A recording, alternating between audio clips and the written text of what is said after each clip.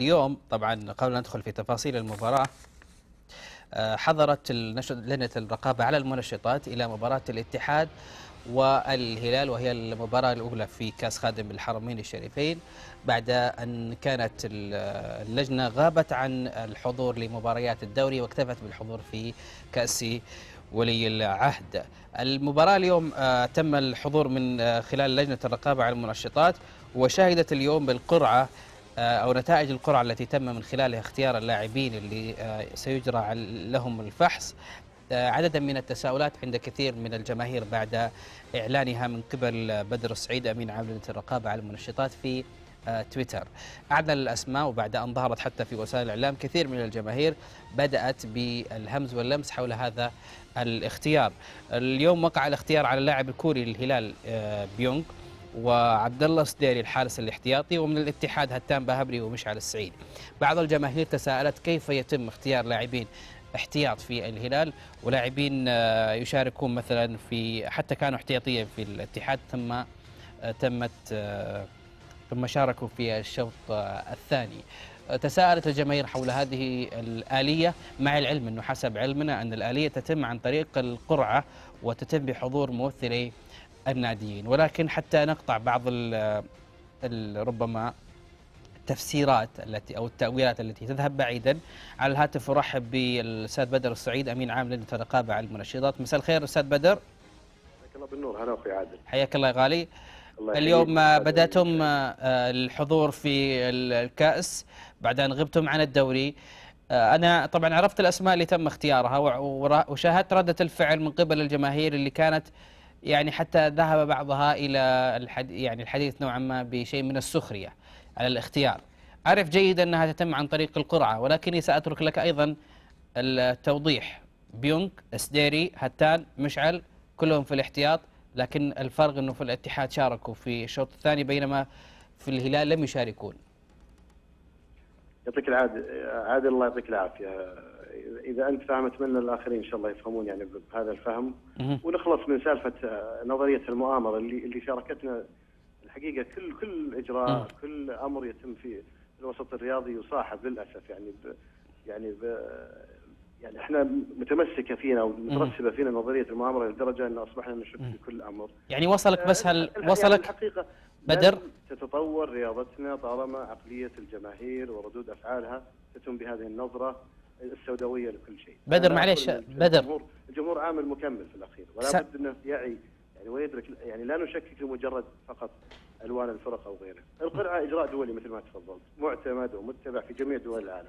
الاتحادات الدولية اللي تشرف على الألعاب الجماعية بدر تسمعني؟ أسمعك. معلش لو ترفع صوتك وحاول تسمعني أكثر لأني قاعد أبقى بس بسألك عن شغلة. قبل ما تدخل في التفاصيل هل وصلك اولا ال- ال- الشيء اللي رصدته أنا ولا أنا يعني أبالغ؟ ردة الفعل أقصد. والله والله يعني مثل ما تفضل. يمكن على مستوى شخصي أنا أقول لك يعني اللي يواجه يعني أنا قلت أكرر إنه على مستوى شخصي يعني. ما ما ما اللي يصير ب- بتويتر مثلا على سبيل المثال أو حتى يعني الأيام اللي تعقب المباريات دائما. الجمهور أو من يقابلك في أي مكان أو حتى على مستوى المنتديات وغيره تجد الشكوك. طيب. ما أدري الكلام اللي قلته في المقدمة كان ظاهر أو لا. أنا كنت أتكلم الحقيقة عن نظرية المؤامرة اللي دائما تكبلنا الحقيقة عن التقدم. كل صحيح. وكل أمر يتم يعني أو كل إصلاح أو كل مجهود يتم في الوسط الرياضي دائما ما تواجه الجماهير للأسف بنظرية المؤامرة. طيب أعطينا الإجراءات أه، بدر عشان نقطع. مثل ما تفضلت يا عادل. هو إجراء دولي معتمد. متبع في جميع دول العالم وفي الاتحادات الدولية اللي تشرف على الألعاب الجماعية. طيب. القرعة القرعة يعني تتم على جميع اللاعبين المشاركين في المباراة سواء كان أساسي أو احتياطي ما يفرق الأمر أها آه، المباراة هذه يعني لم تكن الأولى ولن تكون الأخيرة اللي تظهر فيها القرعة لاعبين من دكة الاحتياط. يعني سبق الم- الموسم الماضي وحتى في كأس آه، سيدي ولي العهد كان فيه نتائج اختيار لاعبين في القرعة كانوا من الاحتياط. مهم. العجيب إن جميع الأندية داخل يعني هذا أمر غريب الحقيقة. طبعا غريب بال- بالاتجاه الإيجابي. ك- جميع الأندية وأكد لك هذا الشيء يا عادل اللي اللي يعني داخل الملاعب ما سبق ابدا وأنا أتحمل هالكلمة إنه واجهنا أي احتجاج من أي فريق في أي لعبة جماعية في المملكة على نتائج القرعة لسبب بسيط المندوبين هذا الفريقين دائما يحضرون إجراءات القرعة. ويوقعون استمارة نموذج معتمد إنه موافقين على على صحه صحة وسلامة إجراءات هذه القرعة نعم وعلى يعني وبحضور كذلك مراقب المباراة. طيب. كل إجراءات القرعة تتم تحت نظرهم. آه، ردة فعل الجمهور حقيقة غريبة يعني أنا أنا أكرر إنه يعني هم الجمهور جزء من تطور الرياضة فلا بد أننا نساعد على مثل هذه المفاهيم أنها توصل. يعني إن لا, لا طيب. نكون سوداويين دائما في نظرتنا. آه ولا تحط لجنة المنشطات ولا تود يوم من الأيام أن تكون طرف في الصراعات طيب. بين الأندية. بدر، إن شاء الله- آه، يعني إجراء نظامي يعني يتفقون عليه الأندية. وما وجهنا اعتراض يعني لو كان في الأمر سوء أو غلط كان الاعتراض يتم. يعني المبادرة تكون عن طريق الأندية. طيب، بدر.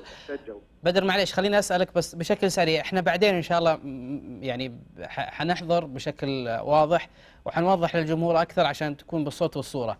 لكن اللي يعرف إنه بالأرقام اللاعبين في ظرف صحيح. ويتم اختيارها من قبل آه، من؟ يعني آه، كل كل نادي فيه ظرف ويختار رقمين وتطبيق الأرقام بالأسماء الموجودة في في القائمة. في- بحضور يعني- ممثلي الناديين يتم سحب الارقام أو سحب القطع اللي تحمل الأرقام بين شوطي المباراه وت- وتحرز في مظاريف بتوقيع ال- الأندية وال- والمراقب ومسؤول الفحص في تلك المباراه الدقيقة 30 الشوط الثاني يتم فتح المظاريف خلف الحكم الرابع في أرضية الملعب. الأمر متاح للجميع إنه يشاهده ويحضر ممثلي الفريقين ونفس المراقب مرة أخرى. تفتح المظاريف وتظهر الأرقام وتتطابق أرقام طيب. مثل ما تفضلت. رقم التيشيرت أو القميص مع القائمة ويسجل آه، اسم اللاعب ويستدعى هذا هذا الأمر طيب. طيب. تقع على الاحتياط هذا أمر يعني يعني وارد لأنه واحد بكل بساطة واحد من ال 18 طيب أه، تكملون تحضرون في المباريات كاملة في الكاس ولا تختارون أه، بالقرعة أيضا مباريات ولا كيف يتم الاختيار؟ ال- كل بطولة عفوا كل دور من كل بطولة يكون فيه جميع الأندية المشاركة يعني تفحص بنفس العدد من الفحوصات أها بمعنى الان الآن في دور الثمانية طالما فحصنا الاتحاد والهلال يفترض أن دور الثمانية ما ينتهي إلا جميع الفرق اللي شاركت في دور الثمانية حصلت على نفس العدد من الفحوصات هذا أها. هذا الإجراء اللي يحقق يعني.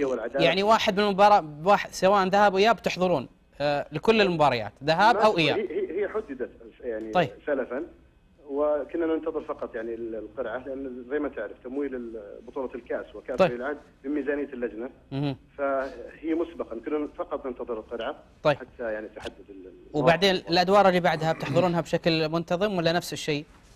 الدور. الله يعني اللي حصل في كأس ولي العهد سيكون مماثل له تقريبا طيب. إلى حد يعني قريب كأس سيدي خالد الحرمين نعم. العام الماضي نفس الكلام كان كأس ولي العهد و- طيب. وكاس الملك نفس الكلام. نتمنى لكم التوفيق. شكرا جزيلا. الجميع شكرا لاتاحه الفرصة الحقيقة شكرا بدر السعيد أمين عامر آه، لجنه الرقابه على المنشطات. بعد اليوم التساؤلات لأنه إحنا نعرف ليش بس أحيانا بعض التساؤلات آه، تطرح ربما تفتح تاويلات تفسيرات كثيرة. فلذلك آه، نغلق الباب من اوله حتى لا نترك مجالا لمثل هذه التساؤلات. عموما